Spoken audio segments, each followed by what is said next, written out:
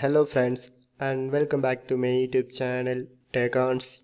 So today I get the following one error notification while I try to access the Windows personalized settings in my Windows 10 PC and it shows this file does not have an app associated with it for performing this action. Please install an app or if one is already installed, create an association in the default app settings page.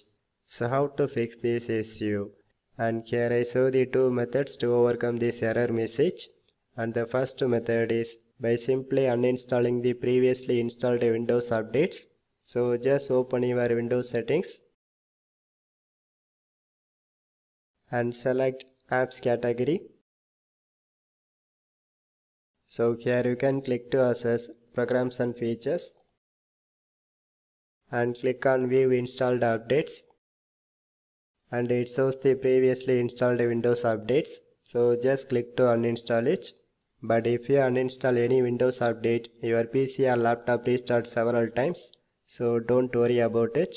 And also your installed programs are very safe. So just do it.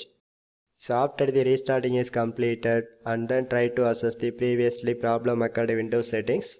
So I hope this first method maybe works for some users. So anyway, if maybe this trick not works for you, just try the second one. So by simply open the registry editor.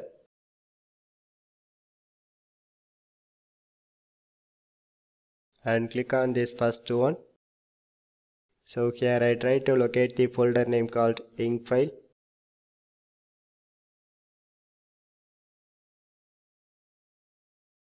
So here you can delete this registry editor is shortcut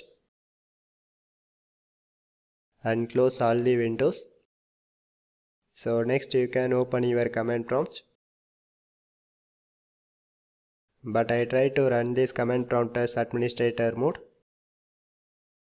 So once you open it and then execute the following commands by one by one.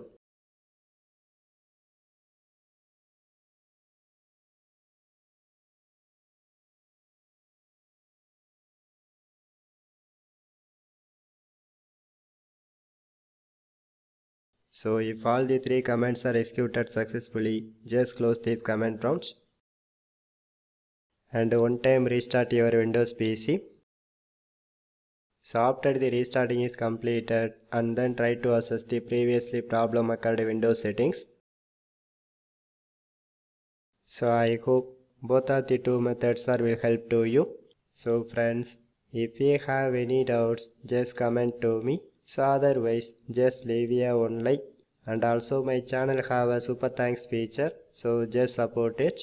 So for more tech videos, you can subscribe my beautiful tech channel, Teconz and thanks for watching.